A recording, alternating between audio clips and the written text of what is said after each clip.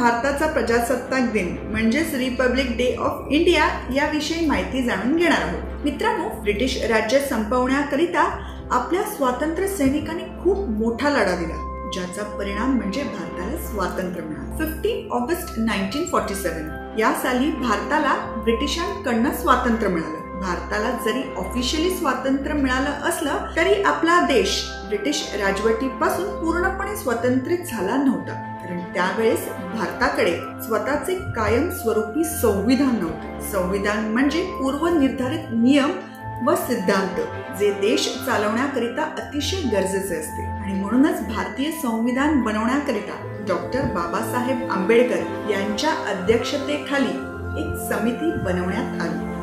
अखेर twenty six जानेवारी nineteen फिफ्टीला भारतीय संविधान अंमलात आले आणि भारत हा लोकशाही गणराज्य बनला.